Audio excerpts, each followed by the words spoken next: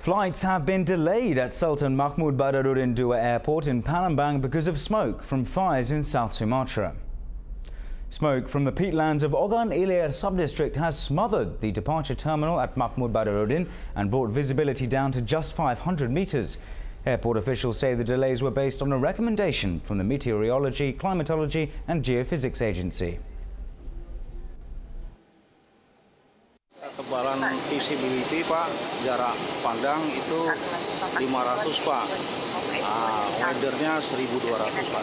Ini sejak kapan Pak? Barusan pagi ini Pak.